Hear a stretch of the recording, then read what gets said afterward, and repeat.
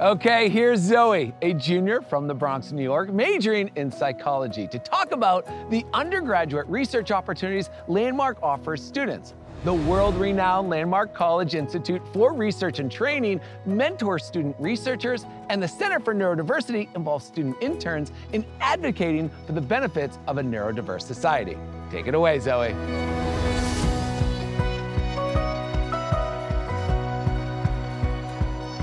Thanks, Alex. Hey, everyone. As a student with learning disabilities, I needed support that many colleges don't provide. Landmark was a great fit because it specializes in learning differences, or LD.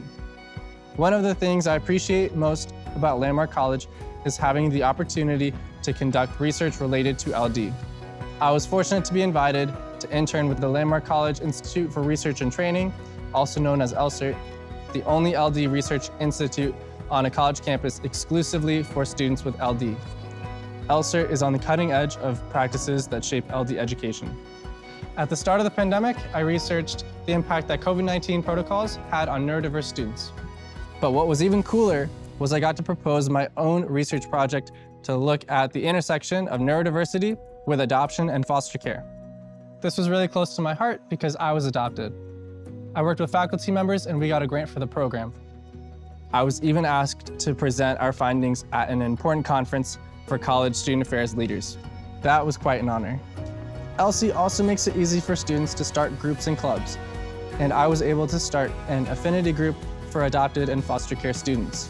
I've also been extremely active in Landmark's Centers for Diversity and Inclusion, especially the Center for Women and Gender and the Stonewall Center. Landmark has been a supportive environment that has helped me become a leader on campus and explore my many other interests, including art. I love to draw and often sketch people around me, like you, Alex.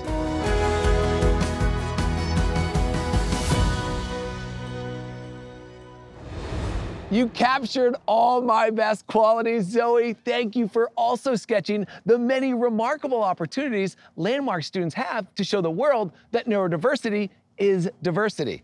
Landmark students can transform the future of LD research and education while shaping perceptions of what it means to learn differently. Thank you so much, Zoe.